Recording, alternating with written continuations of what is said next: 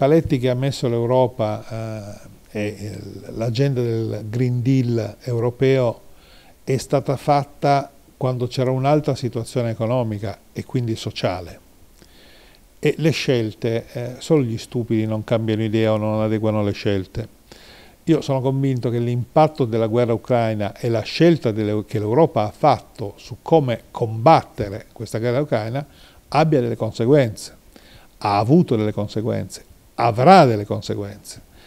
Se queste conseguenze ti, possano, ti portano a spostare gli obiettivi che hai fissato col Green Deal, penso ad esempio a, alla CO2 no? e all'impatto della CO2 sui costi aziendali, se io al problema dell'energia gli aggiungo il problema della CO2, cioè le uccido doppiamente.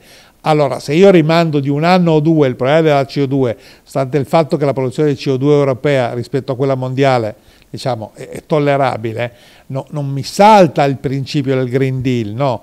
Per cui ci, bisogna, che, eh, bisogna, che, ci sia una capacità anche europea, della burocrazia europea, di adeguarsi a cosa succede nel mondo, non puoi far finta che non sia successo nulla negli ultimi due anni. La, la frase del Manzoni ai promessi sposi, no? Adelante, ma con juicio, si puedes, cioè come, come faceva dire il Manzoni, quindi si va avanti, ma si, guardando quello che succede attorno.